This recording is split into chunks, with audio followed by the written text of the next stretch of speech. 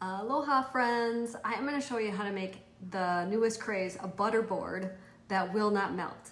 And it's super delicious. Check it out. So to start your butter board that won't melt, you're going to start with a stick of butter and we're going to melt it. We're actually going to make brown butter. So you're going to put that in a pot and heat it to high heat. All right, and you're gonna wanna whisk nearby because this can happen pretty fast. Don't be planning anything else if you've never browned butter before. Uh, I brown it so much I can actually hear when it's done, but uh, you'll see this because it's going to make a lot of noise, be really sizzly, and then it gets quiet and it will froth up and make brown butter. And that's when I know to come back. But if you've never done that before, I make it all the time. Um, brown butter is the most amazing thing. If you've never made it before, you're gonna love it. It tastes like caramely and yeah, it tastes like a caramel butter. It's awesome. It tastes great on shrimp. It tastes great on fish. Uh, I love it on a steak. Um, gosh, you name it. On protein sparing bread. um, but this is what you're gonna do to start. And uh, this morning I already made pumpkin ice cream. So if you haven't seen that video, check that one out. Kai, is that your favorite ice cream? Yeah. Pumpkin ice cream, pumpkin ice cream, yay. So, and what came in the mail yesterday? His costume. What's your costume? Spider-Man. Spider We're all gonna be Marvel characters for Halloween. We're going to Disney World and we're dressing up. And Kai is Spider-Man. Kai, who am I? Valkyrie. And those costumes are going to be very hot. I don't know what we're going to do in Disney. It's crazy. But you can hear it's getting louder. And this is so good, I make I suggest making a double batch. I usually do, but I just want to show you how to make one batch. Work smarter, not harder, people. When I make things, I usually make a double or usually quadruple batch, and then I just store it in the freezer. I wouldn't store this in the freezer, but like my sloppy joes, we made sloppy joes yesterday. I make a big batch, I store it in the freezer for easy meals when I'm busy. So, this is brown butter. Now you can hear it getting quiet. It's going to froth up and you'll see brown flecks start to appear. And this only took less than three minutes. So everybody has time to do this. See, you can see it turning brown. This is when you want to whisk it.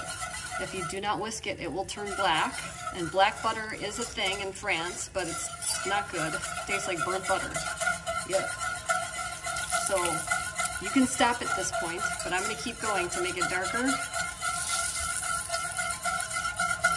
Now I'm gonna turn it off. Keep whisking and keep it on the hot stove top because it will turn a little bit more brown. Yeah, perfect. Yeah, that dark caramel color. All right, so now let's make the board. So now to make the butter that won't melt, you're going to get a blender out. You could use a stick blender if you want to, but I like using a blender. You're gonna place a block of cream cheese in there. And then you're going to add, if you want to, but I highly suggest doing it, some truffle salt. We're gonna add about um, a half a teaspoon of truffle salt if I can find my teaspoon. I'm just gonna use a regular spoon. Here we go. So half a teaspoon, fourth of a teaspoon. Maybe start with a fourth, see if you like it. Um, this is my favorite truffle salt. It's about $11 on Amazon. I'm almost out of it. Um, I got this truffle salt when I was in Greece. And this is the one we're going to use today because that's what I have left.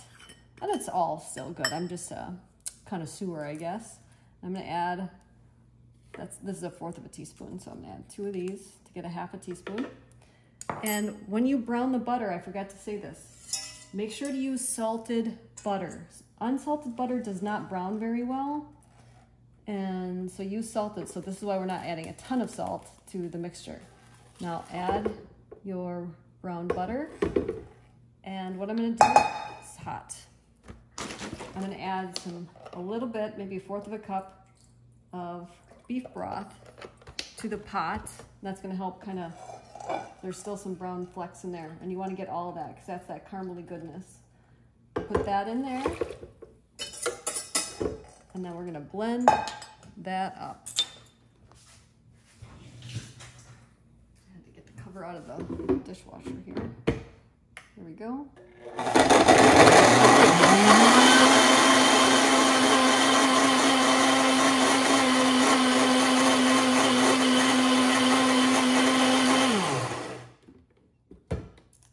And Very generous. If you use code Maria20, you save 20%.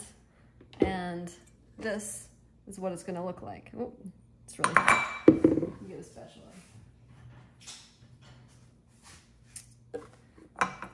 It looks like this.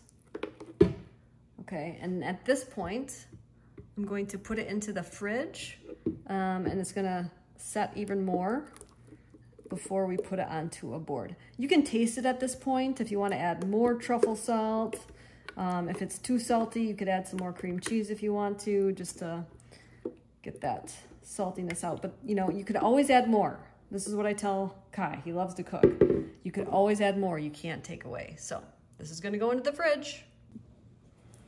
Okay, so after the brown butter mixture has chilled, it's nice and spreadable now. And I'm just gonna spread that all over my board here. And you could just put this in a jar and serve it with a steak. I often do that every day. I really like this. So you just spread it out and then you can top it with whatever herbs you want. Um, Craig did this really cool thing when we built our house. He got this thyme to grow in between our little stone walking path. So we always have uh, thyme growing in the yard. It's really cute, which I love. So spread it out, make it beautiful, whatever you want. And I toasted some protein sparing bread here. And I also have a filet mignon sliced. That's what I would like to serve my board with. But I also have cracker recipes, um, keto cracker recipes if you want to use those, whatever. So here we go. Here is our board. And I'm gonna top it with some fresh thyme, make it beautiful. And I have some edible flowers. Ah, shoot, sticking to my finger.